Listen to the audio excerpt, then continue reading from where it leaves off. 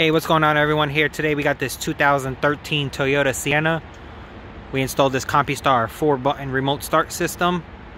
The little star at the bottom is your remote start. Simply press and hold for about 3 seconds. Activates the remote start. Vehicle starts up, runs for about 15 minutes, and then will turn itself off. Thank you guys for watching.